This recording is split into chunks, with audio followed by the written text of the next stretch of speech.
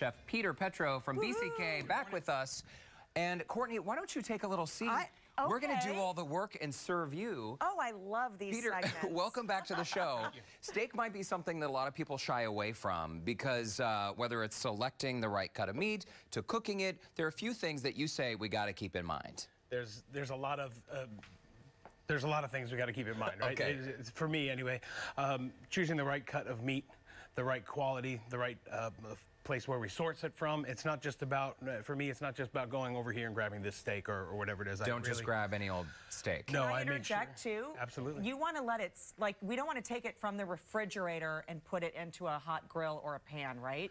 Correct. A lot, a lot of times that could uh, make it a little bit tougher than you want it to be. So sometimes we like to uh, let it come up to room temperature. Okay, so leave it on the counter. Yeah, so we don't want to we don't want to shock it, right? And have all those muscle fibers and everything kind of you know se- seize up on us, right? So we Okay. want to we brought these uh, steaks up to a little bit uh, closer to room temperature, so it's not such a drastic temperature change. So Okay. That's a help. while I'm sitting here, what, what is this, Peter? This is an old fashioned. Okay, may I?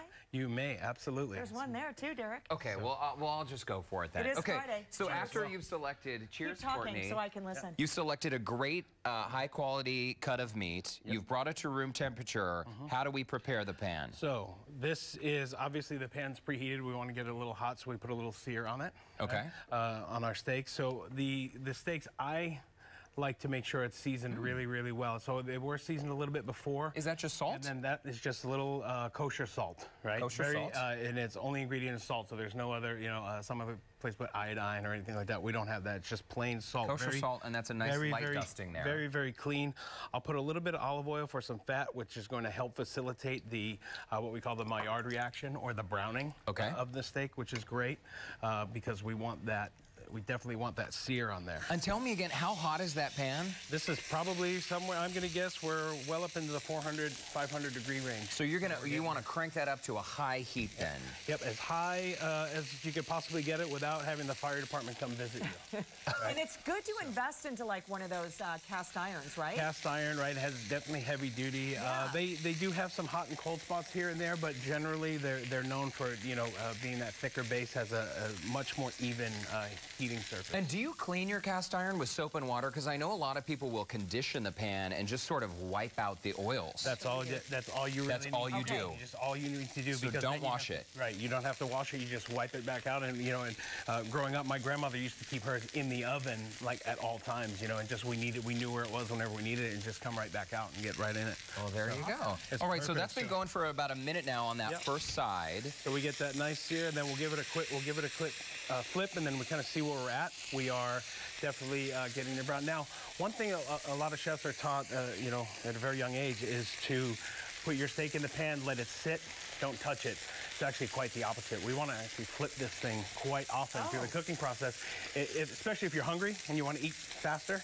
Um, it's going to help facilitate that cooking process, get it done faster. Really? A little heat comes up, right? Flip it over, do it again and again and So again. So continue flipping. About how many flipping. times? Rule of Um, rule of thumb, uh, honestly, just until it's ready. So what what I'm doing a lot of, I, I use tongs and not a, a spatula uh, because I want to feel the, the, the meat. I want to feel if it's uh, what the temperature is of it. Right? We we're taught, um, you know, we use our hand as a guide for telling the doneness of our steak, and we push this meaty section of our of our hand right here.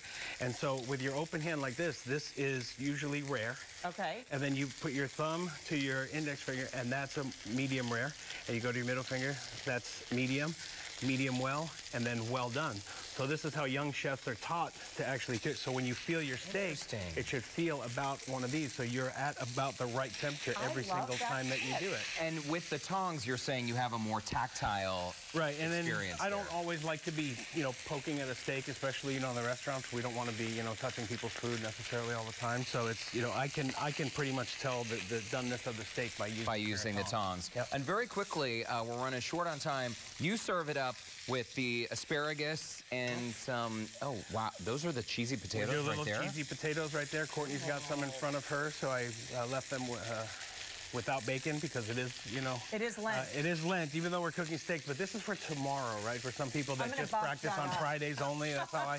That's how I kind of do it. So, but this is great. And then we have some asparagus, which I've, I've blanched and shocked. We're just going to add this to our pan uh, right towards the end to get that little heat. And then if we want to add a little bit more flavor to some of our stuff, we have some aromatics, some rosemary, Rosemary and- and a little thyme. And let's get the studio smelling real nice for you guys. It smells fantastic. And you know, BCK, you guys are so good at what you do. Thank you, Peter, for stopping by and sharing your tips with us. Appreciate it. Yeah, I know you're right. cooking, so I'll give you a Yeah. fist bump there. I And as gotcha. always, if you would like to connect with Peter or with any of our guests, you can visit our website, houstonlife.tv, and look for the Scene on Houston Life tab. Thanks again. Cheers. Thank you so much. Cheers. Appreciate it, guys.